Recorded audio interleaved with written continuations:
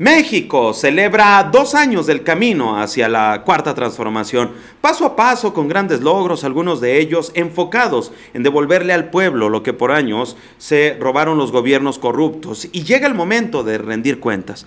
La Suprema Corte de Justicia de la Nación ordena algo que esperábamos. Le ordenó al gobierno de Veracruz devolver los más de 96 millones de pesos que fueron entregados por el gobierno de Javier Duarte, quien a pesar de su sentencia de risa, pues aún no termina de saldar las cuentas pendientes que tiene con los mexicanos. ¿Creen que probablemente con la extradición de Emilio Lozoya, su colaboración con las autoridades mexicanas, se logre que tanto la esposa de Javidú, Karime Macías, como él, por fin paguen la deuda que tienen con el país?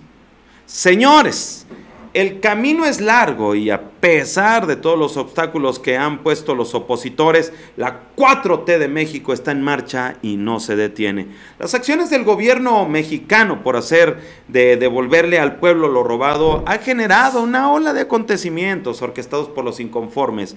Esos que a sabiendas de que se está trabajando para terminar con los corruptos, pues harán lo posible por sabotear el, el trabajo del Ejecutivo Federal y su equipo han congelado cuentas millonarias de mañosos, decomisado propiedades, pues son pasos agigantados que llevan a México a caminar hacia adelante.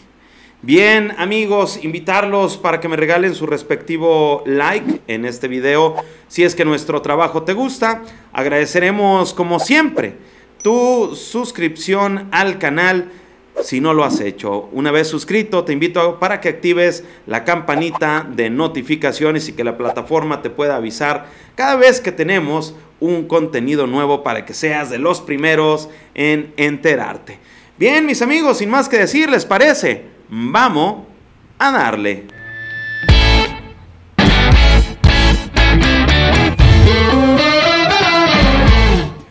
Damas, caballeros, como siempre, reciban cálido, respetuoso y afectuoso saludo donde quiera que se encuentren. Espero estén muy, muy bien y que su día pinte de rechupete. Vamos antes que nada a mandar el saludo muy especial para nuestro gran amigo El Pelón, así eh, coloquialmente conocido, que siempre nos está viendo día, tarde, mañana y noche. Muchas gracias por ese incondicional apoyo, amigo que nos brindas para todos sus amigos y familia también allá en la Unión Americana. Bien amigos, pues vamos, vamos a darle lleno con la información porque Javier Duarte, bueno, terminó siendo esa herencia en este gobierno, una herencia que realmente dejó un sinsabor de boca, pues malo, malo para esta cuarta transformación, aunque bien sabemos este proceso pues ya fue algo que ya venía de salida, le dejaron varios, varios asuntitos sembrados, el otro fue el de el Bester Gordillo y hay varias cosas ahí que bueno, pues eh, no nos quitan el sueño, el presidente de México tampoco, pero lo que sí es que nuestros amigos veracruzanos por fin podrán ver esa luz en ese túnel oscuro. Dice, la Suprema Corte de Justicia de la Nación ordena devolver esos 96 millones de pesos desviados durante el gobierno de Javier Duarte. Y es que la parte demandada, Poder eh, Ejecutivo del Estado de Veracruz, no cumplió con su carga procesal de demostrar que la cantidad que recibió por parte del Poder Ejecutivo Federal la haya aplicado al destino que combinó con la parte accionante. Esto es la contratación durante ese ejercicio fiscal de un seguro agropecuario en beneficio de los productores rurales de bajos ingresos en 208 municipios del estado veracruzano. Decía Norma Lucia Piña Hernández, ministra de la Suprema Corte de Justicia de la Nación, quien ordena al gobierno de Veracruz devolver al federal 96 millones 470 mil 817 pesos con 15 centavos más intereses que les fueron entregados durante el periodo de Javier Duarte de Ochoa. El dinero en cuestión le fue asignado para contratar seguros agrícolas, pero fue desviado. Todo inició en febrero del 2014 cuando el gobierno del estado mencionado firmó un convenio con la Secretaría de Agricultura, Ganadería, Desarrollo Rural, Pesca y Alimentación, la famosa Zagarpa, para contratar un seguro que cubrieran las pérdidas en caso de desastres naturales. Y luego el chingado Fonden, ¿dónde estaba? No, eh, total que bueno, estos vatos se la han pasado haciendo negocio a diestra y siniestra en los estados que llegan y gobiernan. Era parte de, de la doctrina priista, al parecer porque Obviamente eh, se habla de una cantidad millonaria que van a tener que regresar con todo intereses. Esto obviamente vamos a ver si lo tienen. Vamos a ver ahora qué pretexto ponen y con qué mafufada nos salen del por qué eh, no, no encontrar el dinero. Ojalá, ojalá lo tengan ahí eh, presente y disponible, ¿no?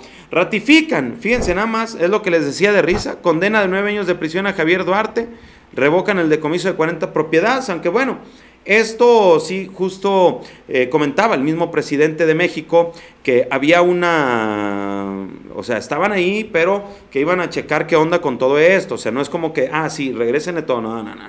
O sea, esto no queda como que en la impunidad aún, eh, ni tampoco con total libertad. Eh, están ahí todavía en vísperas de que pueda resurgir. Ahora, bueno, se habla de que Emilio Lozoya viene para México ya extraditado que va a justamente a cooperar y pues todo este prismo está involucrado, ¿no? Javier Duarte ya se señalaba en estos trabajos periodísticos que había eh, desviado 60 mil millones de pesos entonces la Procuraduría General de la República decía que solo 223 eh, millones. Total que la Auditoría Superior al actual gobierno mexicano sobre las irregularidades cometidas en Veracruz desde el 2012 y lo reiteró en los siguientes cinco años sin que alguna autoridad federal investigara la red del entonces gobernador Javier Duarte. Pues quién chingo lo iba a investigar si es cuando justamente estaba Peña Nieto. No, la Procuraduría investiga al exgobernador por el presunto desvío de 233 millones de pesos. ¿Sí? aunque los desvíos no solo son históricos, sino que podrían superar los 60 mil millones de pesos, y ahí justamente también se ve involucrada la esposa de Javier Duarte, Karime Macías, quien desde el DIF se habla que había factureras, empresas fachada y que incluso pues eh, había intereses políticos por ahí desde el DIF estatal y que había grandes, grandes eh, desvíos. Ya pagó sumas millonarias para darle obviamente eh, amparo a su mm, persona y que no la puedan atrapar, ¿verdad? Miren, vamos a ver esta, esta comentario de Jorge Armando Rocha a través de Twitter. Dice, extrañan a Angélica Rivera, añoran a Peña y a Calderón, le rezan a Javier Duarte y a Roberto Borge, piden por gente bien como Emilio Lozoya, defienden a Rosario Robles y Collado. Estábamos mejor cuando estábamos peor, dicen. Mejor dicho, ellos estaban mejor cuando hundían al país. Hijos de la chingada. No me extraña, señores, que de verdad siguen añorando a diestra y siniestra los privilegios, esta bola de saqueadores, ¿verdad? Y es que pues sí, es increíble cómo hoy en día todavía hay quien de verdad, aunque suene a sarcasmo esto, sinceramente sí los extrañan, señores, sí anhelan que regrese un Felipe Calderón. Ya lo decía Sabina Berman, que es justamente el 20%, hay un 20% en el país que sí no quiere al presidente de la República y es válido, no puede ser perfecto, pero es un 20% el cual es el que hace ruido y es el que está ahí latente, inconstante y vez es ese 20% que simple y sencillamente está atorado ahí todavía con estos, con estos gobiernos blanqui azules, señores. Como conclusión, pues al pueblo, lo que es el pueblo, señores, todas estas acciones que se han implementado a favor del país y que sin duda pone rabiosa a la oposición, que no le queda de otra más que seguir mirando, porque propuestas y acciones no vemos. El mérito es del pueblo mexicano cuando se permitió un cambio de régimen de forma pacífica. Ya vienen las elecciones en el 2021 y está en nosotros que hagamos una realidad el terminar con esos partidos políticos corruptos, hambrientos de poder que lo único que pretenden es seguir haciendo, es llenando sus bolsillos a costa de las necesidades del pueblo mexicano.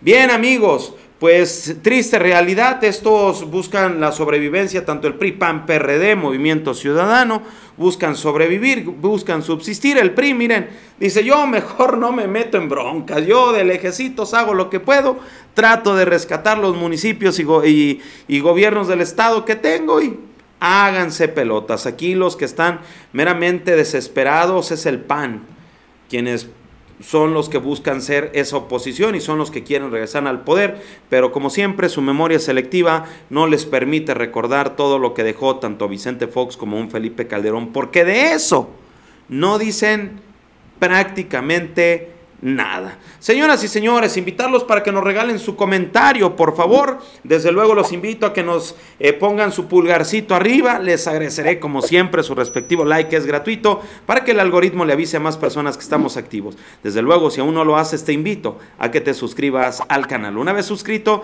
actívame la campanita de notificaciones de favor para que la plataforma te notifique cada que tenemos contenido nuevo. Muchas gracias a todos los que nos ayudan a compartir estos contenidos a lo largo y ancho de las benditas redes sociales para que más personas interesadas en la información de la cuarta transformación, al igual que tú, sepan de este tu canal favorito. Sin más que decir, soy Polo Puga, nos vemos en un siguiente video. Adiós.